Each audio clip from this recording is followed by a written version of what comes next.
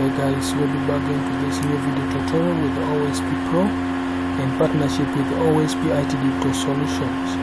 Now today in this tutorial, simply today I'm going to show you how to to deal with what known as uh, Paper.js. Now Paper.js is very cool a framework. Uh, it's very very nice. If I try to show you from my uh, application, I think I have some application somewhere with the Paper.js. So me just try to show here. Uh, I think I have some stuff on my application. I think I have some applications of mine with Paper.js. Let's try to check though uh. I think it is kind of fun. Now let us just do one together and show you. Now the first thing I'm going to talk about at the moment, if you want to use Paper.js, now Paper.js looks like uh, just try to pick it try to pick it here. Uh, we just have something called uh, pepper.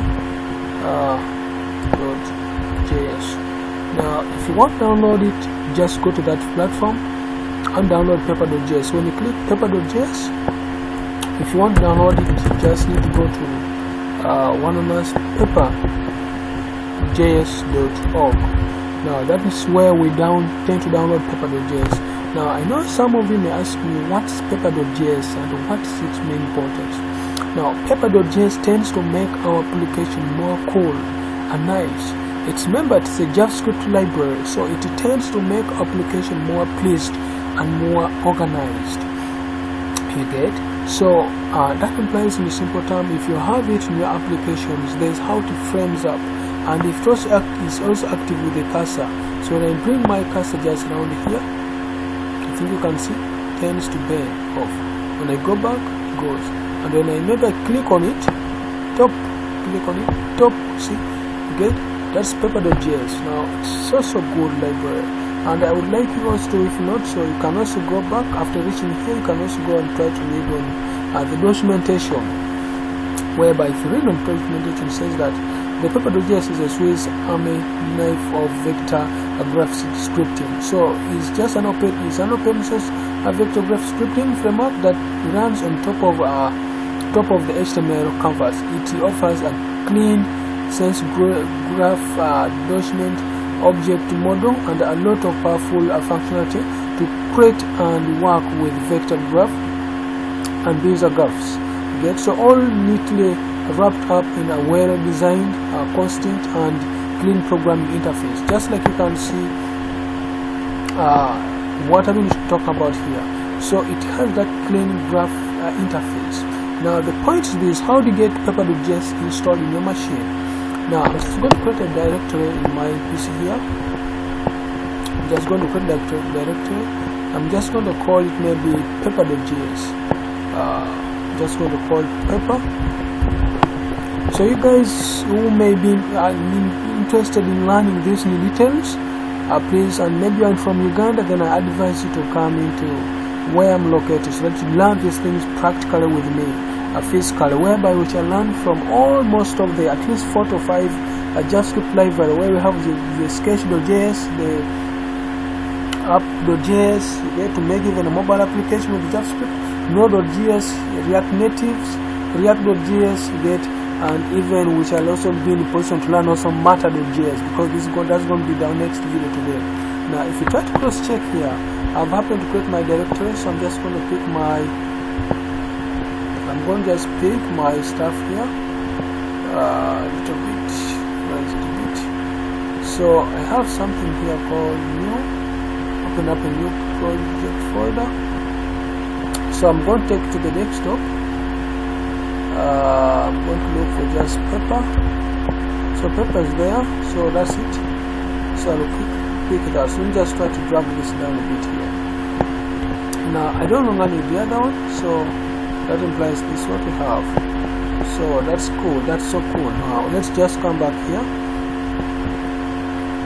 Now, how to use pepper.js so uh, uh, come back here in your application so the next video will show you how you can embed it. So now this where our stuff is going to so I'm just going to make this page to be on the X.html since I'm using the desktop. Now we need to install paper.js you know? So to install paper.js like I've said just go down to installation just click new browser. And if you try to check here right now uh, it is taking me to, to, to the downloading page now where I can access paper.js now if you are guys you are from environment of uh, uh, one on us uh, if you want to use node.js with paper.js then you just need to type on us uh, then install uh, one on us uh, pepper just type one on us install pepper now for me I really have pepper installed in my machine. That's what I know. I really have it installed in my machine. So uh, I'll not just again take time there uh, on the installation you get so but that's the, the, the techniques that you can always tend to do. If at all you want pepper to be installed in a machine. Remember I said paper is just like kind of clean of form of interface whereby it tends to run on the, uh, the on the front uh, part of the HTML5 that implies it works like give us something like a, an image on a page. You get so it brings that cool kind of environment for your given application and it sets it to be uh, flexible to a given user.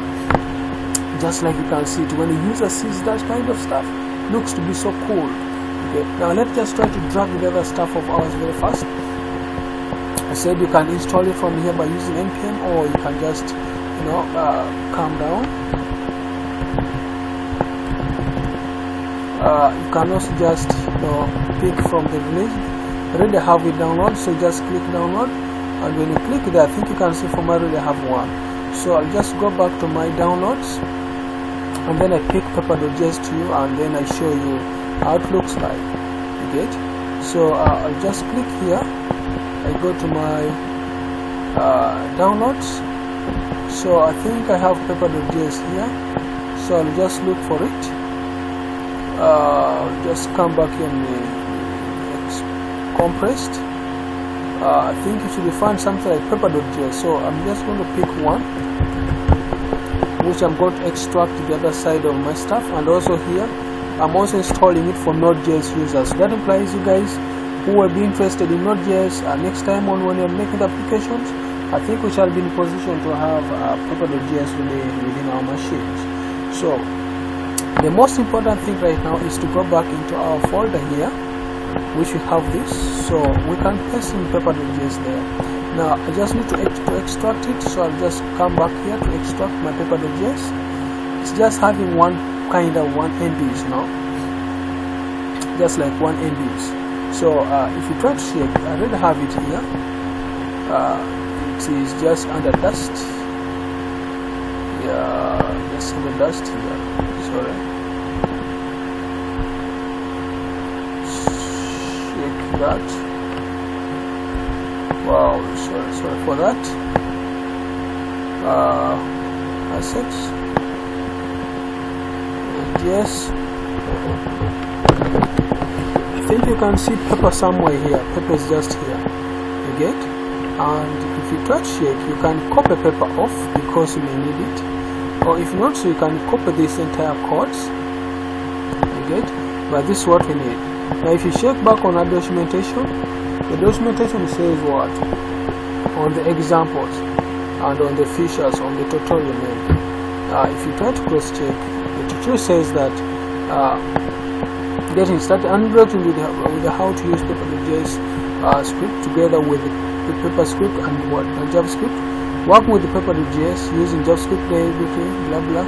So you can need to set the path but don't really need to set the path for for it because uh, it will come with it definitely. So also we advise you whenever using paper.js uh, to some extent you should also have a knowledge at least on sketch uh, dot uh, paper.js you get? Whereby we shall be in position to uh, make our applications or make the, the program that we like to uh, to come up with or to, to print you know? That's the most important thing.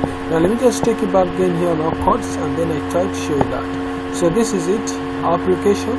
Like I've said showed you already here. If you check back in here on our stuff. We already have those paper.js it's under assets. And in css we have a document with css but also have examples. So if i try to click on classes in classes we have this all these are and examples. So if you try to just tend to run index.html to launch for you this page which this page has the other documentation that implies you can use the stuff offline you get so you can use it offline. Like give assumption if I want to run now that page I can just go back to my page here and I go to examples because in examples already have those stuffs uh, inside there you get so if I click there I just go for smoothing uh, that implies to just pick my codes and it will just be popping up like you can see. So inside this example we can edit this example uh, so that I show what I'm trying to say. Remember this is just JavaScript so there's no big deal with it. So if I go back to my part of the page which I said something like uh, inside example uh, if you look at animate uh, this is the JavaScript part of the page. You get this is the JavaScript page uh, if you just try to close back in uh, try to try to copy it back that's it. So in this page I think you can see something here. Uh, this part of the page talk of the width which is center. Uh, width and the center of the element and then the points in which it will be uh, uh, picking up. I think you can calculate 1 2 3 4 5 6 7 8 9 10 I mean this stuff. This 1 2 3 4 5 6 7 8 9 10 so if you try to cross check in the page if you come back in the page here and you say you know what? I don't want 10 I want maybe uh, I would like you to give me maybe uh, 8 so if I save that and I go back to the page and I try to uh, refresh my page. Just up try to refresh the page. I think you can see the number of lines have been reduced. So if you try to cross check I've made it a this is 1 2 3 4 5 6 no this 7 so reduces by 1 so that's it. That's it. Now if you try to change the color you can change the color of this page so I can just go back here in my page and I say you know what from black I want maybe something like red so that when try to cross check in our page I just try to refresh here on the page and I think you can see now it's red so my friends that's the simple introduction to one known as paper.js so anyone interested to learn more about it how do you add into the page? That will be the next video. So I want to see you guys commenting down on this video and then find you guys who are also interested.